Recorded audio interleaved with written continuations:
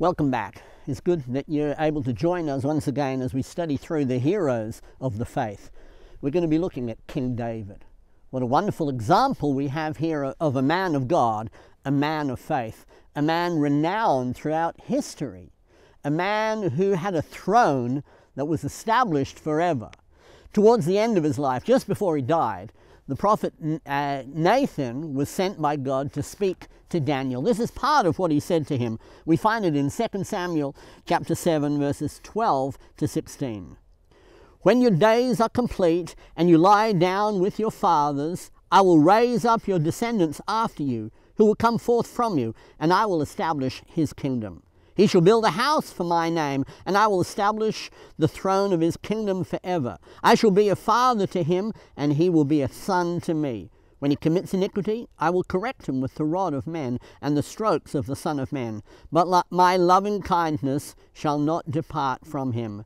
As I took it away from Saul, whom I removed from before you, your house and your kingdom shall endure before me forever. Your throne shall be established forever. This is the King David. But we get ahead of ourselves now. We got to go back and remember that when we studied uh, about Ruth, she married uh, Boaz and they had a son, Obed, and he had a son, Jesse. And it's now the sons of Jesse that we're going to be speaking about. We remember that Samuel the prophet was sent to anoint King Saul. But he was a great disappointment, and he followed the ways of men and departed from the ways of God. So God sent Samuel to anoint another king to replace him. And so we take up the passage in 1 Samuel chapter 16, verses 10 to 13. Thus Jesse made seven of his sons pass before Samuel. But Samuel said to Jesse, The Lord has chosen none of these. And Samuel said to Jesse, Are these all your children? And he said, There remains yet the youngest, and behold, he is tending the sheep. Then Samuel said to Jesse, Send and bring him, for we will not sit down until he comes. So he went and brought him in. Now he was ruddy, with beautiful eyes and a handsome appearance. And the Lord said, Arise and anoint him, for this is he. Then Samuel took the horn of oil and anointed him in the midst of his brothers. And the Spirit of the Lord came mightily upon David from that day forward. And Samuel arose and went to Ramah. This was the anointing of David. But Saul was still the official king of Israel. And a great many things happened in the meantime. The Philistines came and attacked the nation of Israel. And they raised up a great champion, a giant of a man called Goliath. And all the children of Israel were afeared of him and would not stand in front of him and fight him.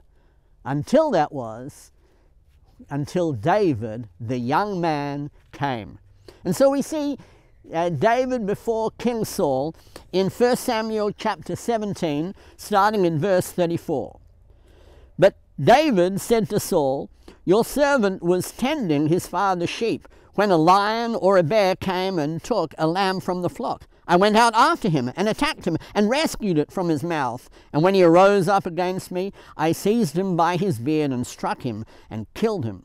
Your servant has killed both the lion and the bear, and this uncircumcised Philistine will be like them, since he has taunted the armies of the living God.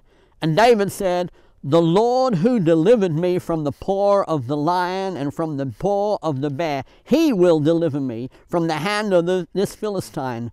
And Saul said to David, Go, and may the Lord be with you. And so he went to face this giant who is clad in armor, had a mighty sword, and David just had a stick and some small stones and a sling. But notice the faith of this young man of God, this hero of the faith. In the same chapter, chapter 1 Samuel 17, verses 43 to 47. The Philistine said to, da- the, the Philistine said to David, Am I a dog that you come with me with sticks? And the Philistine cursed David by his gods. The Philistine also said to David, Come to me, and I will give your flesh to the birds of the sky and the beasts of the field.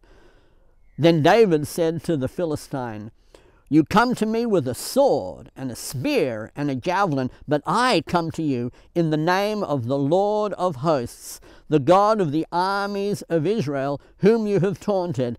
This day the Lord will deliver me into uh, in, deliver you into my hands, and I will strike down, strike you down, and remove your head from you.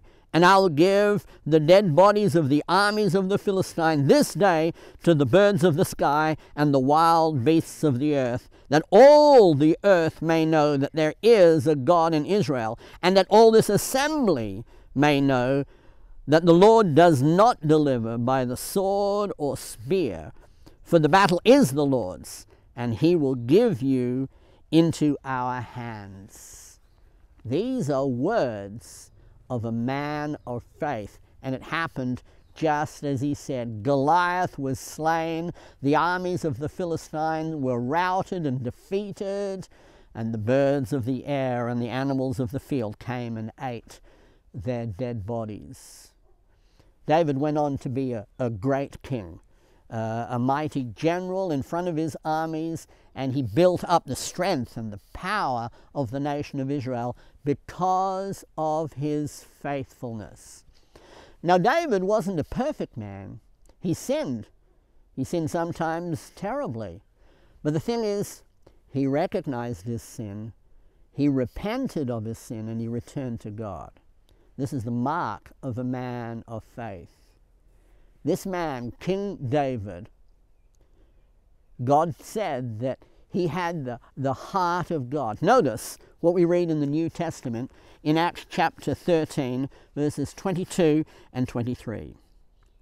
Speaking about Saul, he says, after he had removed him, he raised up David to be their king, concerning, concerning whom he also testified and said, I have found David, the son of Jesse, a man after my own heart, who will do all my will. From the descendants of this man, according to the promise of God, God uh, uh, to the promise, God has brought to Israel a Savior, Jesus.